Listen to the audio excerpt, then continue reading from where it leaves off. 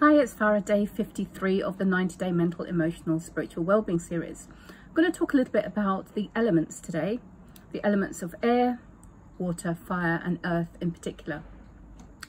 There's so much around this in Chinese philosophy, in Indian philosophy, um, and, and if you look up anything to do with the elements as well in terms of dance and movement and the flow and how, how we are connected. So just some things around that. Um, fire energy, for example, is, as you can imagine, heated, right? Very kind of hot, energetic, moving, dynamic.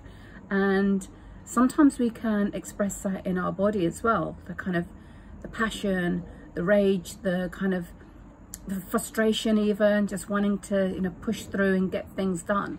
Very kind of earth, uh, very kind of fire energy. So just kind of notice where, what, when that's happening because, you know, if there's something which isn't quite going where you want it to go, you can think about this in terms of elements and then change it.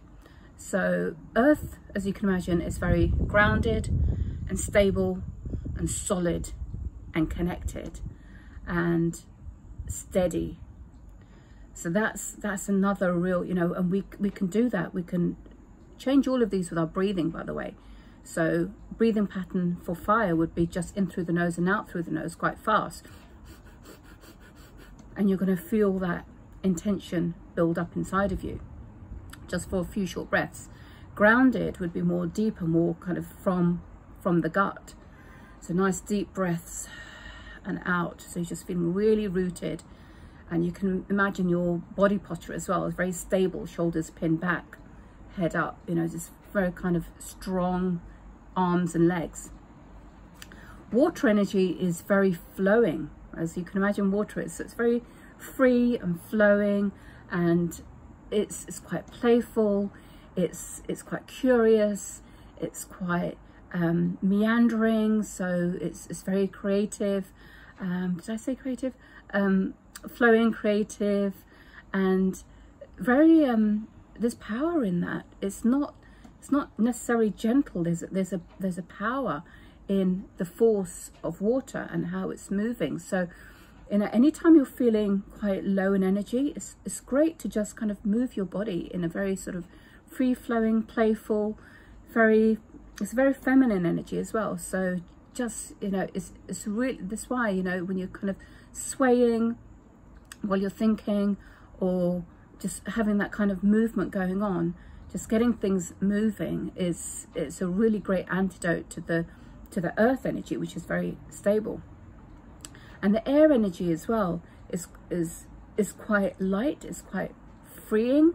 It's, it's there's a lot of um, there's a lot of dynamism as well. If you imagine wind and the air blowing and it's you know it can be quite chaotic in a sense because it can there's no direction it can go in any way so if you've got quite a lot of kind of air energy and you're just finding that there's not, you can't pin anything down, things are kind of just moving and coming and going in and out and um, it can be quite quite high up here as well, the air energy.